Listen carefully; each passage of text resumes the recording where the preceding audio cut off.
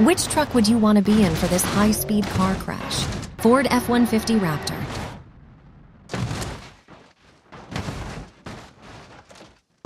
You slid right off that bone, huh, Mr. Raptor? Chevrolet Silverado.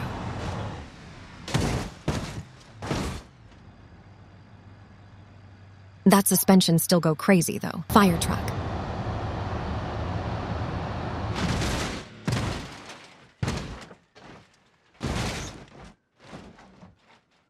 Didn't know Mr. Fire Truck was Spider Man. Toyota Tundra.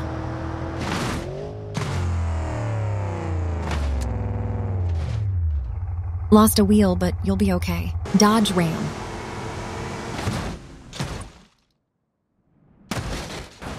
Landed straight onto your back just like mommy did last night. Tesla Cybertruck.